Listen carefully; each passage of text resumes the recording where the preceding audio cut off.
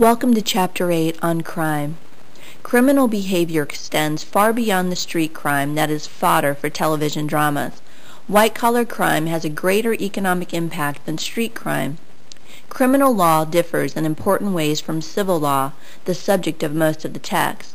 The state prosecutes the wrongdoer, the wrongdoer can face lengthy imprisonment or death, and rights embedded in the Constitution protect individuals accused by the state of criminal behavior.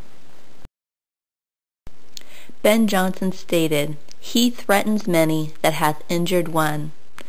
And French scientist Pascal said, Most of the evils of life arise from man's being unable to sit still in a room.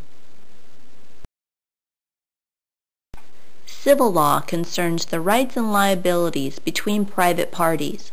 Criminal law concerns those activities that society has outlawed. In a criminal trial, the government decides whether to prosecute, and the defendant has a right to a jury trial. In a criminal suit, the court determines the guilt so that a punishment may be given. A felony is a serious crime with a sentence of a year or more in prison. Misdemeanors are less serious, often with a sentence of less than a year.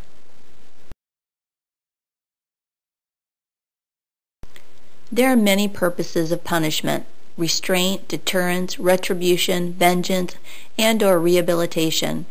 Restraint is meant to keep a violent criminal away from the rest of society. The courts hope that when a criminal is punished, he or she, as well as others, will avoid future crimes to avoid future punishment. Giving a criminal a punishment equal to his crime is meant to serve as retribution. Vengeance is sought by trying to make the criminal suffer. Rehabilitation is when training is provided to allow the prisoner to return to a normal life eventually. When a prosecutor prepares for a case, they must show that the defendant's alleged activity is indeed illegal. They also have the burden of proof, the jury must believe beyond a reasonable doubt in order to convict. This is to protect innocent defendants from undeserved punishment. The prosecution must also, also show that the defendant committed the act, not just talked about doing it. Most crimes require that prosecutors prove general intent, and they'll try to show that the defendant intended to do the illegal act they're accused of doing. When prosecutors try to prove specific intent, they are attempting to show that the defendant intended to do something beyond the act they are accused of. Reckless or negligent conduct is proven if the prosecutor shows that the defendant consciously disregarded a substantial risk of injury to another. Certain actions, however, don't require a guilty state of mind, only proof that the defendant did the illegal action. This is referred to as strict liability.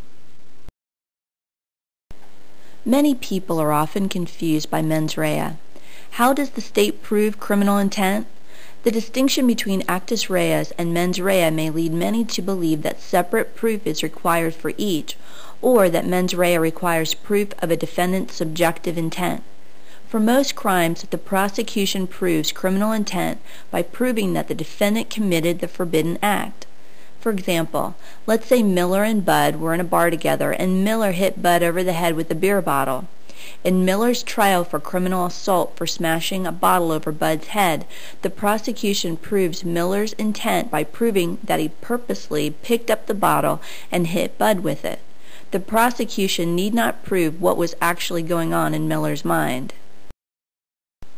A defendant who can prove he was insane at the time of the crime will not be declared guilty. There are two basic tests used to determine sanity. The McNaughton rule must show a serious, identifiable mental illness and that he didn't understand the nature of his act. Irresistible, irresistible impulse means that the lawyer must show that a mental defect left the defendant unable to control his behavior.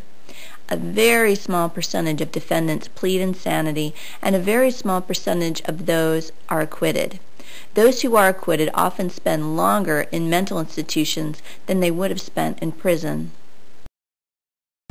Many people, again from media exposure, possess wildly inaccurate views of the insanity defense. They will usually grossly overstate how often defendants use it and how often it's successful. They will also fail to understand its moral basis that the state should not impose criminal penalties on those who are not responsible for their acts.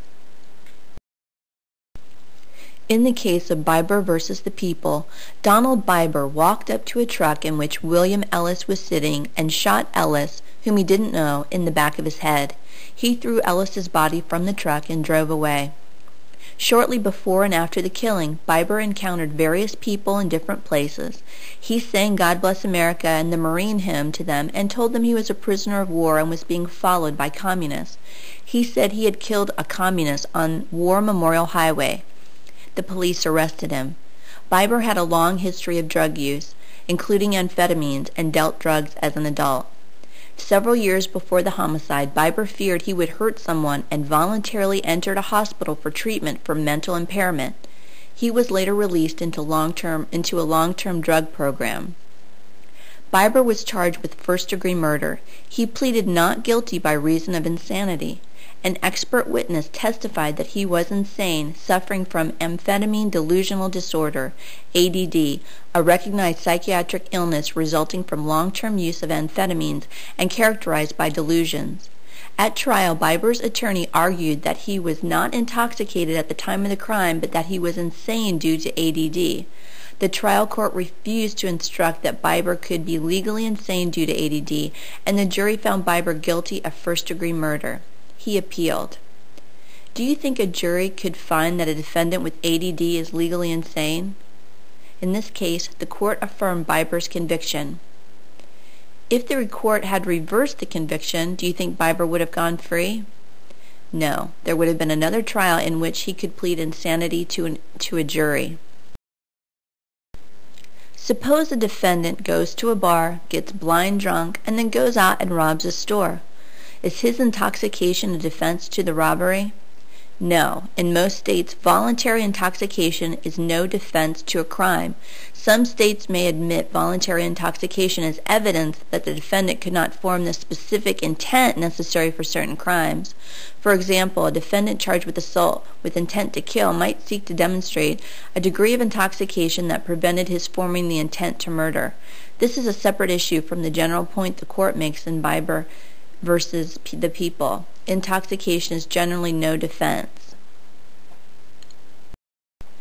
Since voluntary intoxication is not a defense to a crime, you may be wondering why Bieber even bothered to raise his drug issue. Bieber acknowledged that voluntary intoxication is no defense. He was not arguing that he was intoxicated. He was attempting to make a different defense. Bieber claimed that he was legally insane. His argument is that prolonged drug use left him afflicted with ADD, an established psychiatric ailment. You may be wondering why his argument did not persuade the court. This is because his drug use was voluntary. Whatever mental disease it caused, Bieber brought it upon himself through his years of amphetamine use. It didn't matter that he didn't know that ADD might be a result of his drug use. The reason some drugs are illegal is that they're bad for you.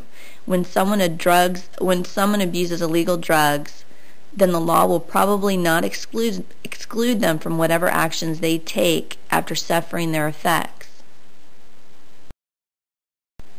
Entrapment refers to when the government induces a defendant to break the law. They must prove that the defendant was predisposed to commit the crime. Duress refers to a defendant if he or she can show that a threat by a third person caused her to fear an imminent physical harm. Larceny refers to trespassing or taking personal property with the intent to steal it. This means that someone else originally had the property and it's personal property, not services or real estate. Fraud is the deception for the purpose of taking money or property from someone else. This includes bank fraud, wire or mail fraud, insurance fraud, and Medicare fraud. Arson means using fire or explosives to damage or destroy property, usually with either malicious or fraudulent intent. Insurance fraud causes higher premiums for everyone.